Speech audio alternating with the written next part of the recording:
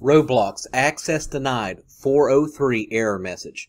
You don't have permission to view this page, back or home. So if you're getting a specific error message on Roblox on your PC, I want to show you a couple of troubleshooting methods to use that you may have not come across if you've been searching for.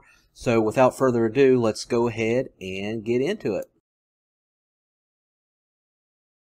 If you have any software cheats that are open, make sure that those are disconnected or no longer in use or you uninstall them because that a lot of times Roblox will, will know that you have uh, software cheats and then they'll basically give you this error.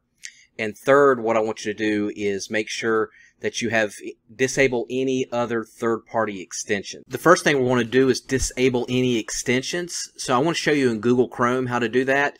But of course with Firefox or whatever other browser you have may be a little bit different, so you may want to look it up. But pretty much the concept is the same. So, for example, in Google Chrome, we're going to go to the upper right here where the three little dots are. We're going to, we're going to click on it. Then we'll go all the way down to More Tools, and then go over here to Extensions, and then look at all your extensions.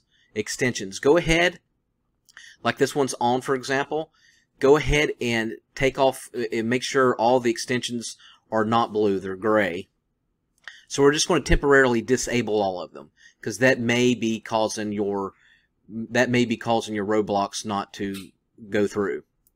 Next, I want you to locate the icon on your desktop, your Roblox icon, and what you're going to do is you're going to right click on it. And then from there, what you're going to do is left click properties and then what you're going to do from here is you're going to run compatibility troubleshooter first.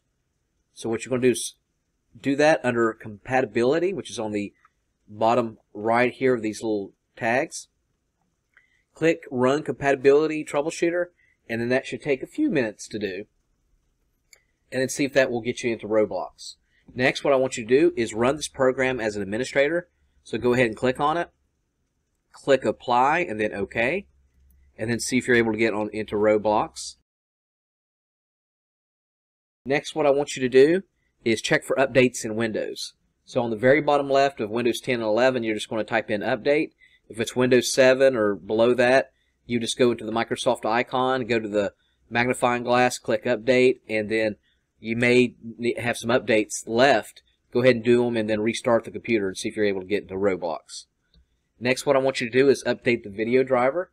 And so to do that, again, just go to the bottom left here and type in Device Manager.